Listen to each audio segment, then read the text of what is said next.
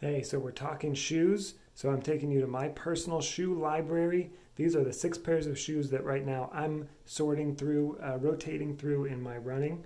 Uh, and I want a disclaimer I do not endorse any of these shoe companies. I do not have a shoe deal yet. So I'll walk you through each one. They all have a different uh, type of style.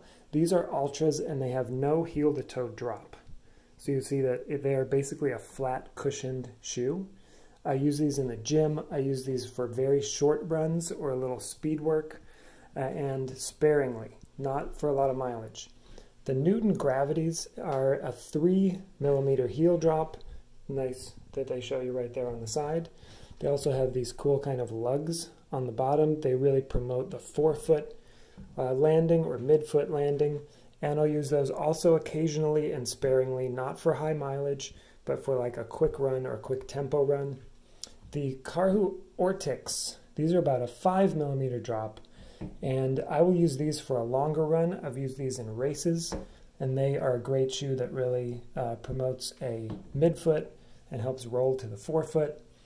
These are a Kenyan shoe brand uh, that I really love, that's really cool.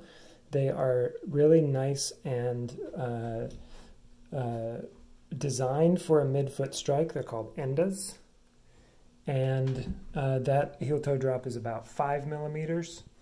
This you may recognize as the Hoka. Hoka is a very popular shoe brand right now.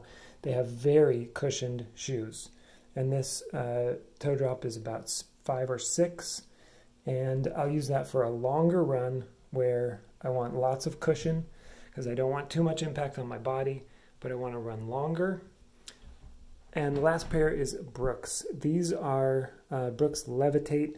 They have about an 8 millimeter shoe drop, which is the largest that I've got. And I'll use those pretty sparingly. I'll go out for, uh, I use those for walking a lot, and I'll use them for a shorter run or a day when I feel really beat up and I want a little bit of cushion. Either one of these two pairs is what I'd probably use.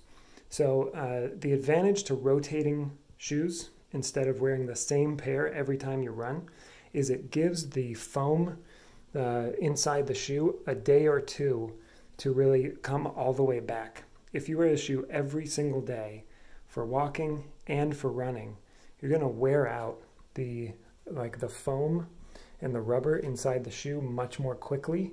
It'll shorten the life of the shoe and you'll be using the same muscles to run in that one shoe and walk in that same shoe you can see these six pairs are actually pretty different. They uh, each have a different style, they have a different toe drop, they have a slightly different shape, and that helps uh, diversify the muscles that I'm using when I run in each different pair of shoes. Send me any questions you have and enjoy.